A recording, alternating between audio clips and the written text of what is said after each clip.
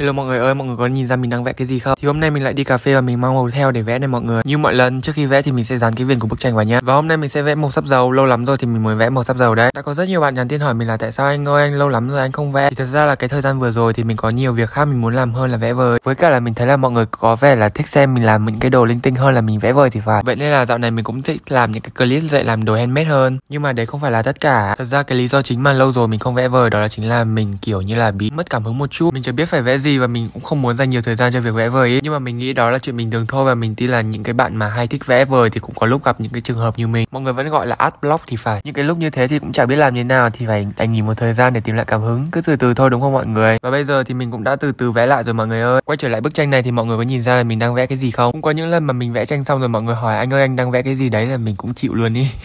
bất lực luôn xong rồi nè bây giờ mình sẽ bóc cái băng dính này ra lâu lâu không ra cà phê vẽ tranh cũng thật khá là thú vị mọi người ơi hẹn gặp lại mọi người nhé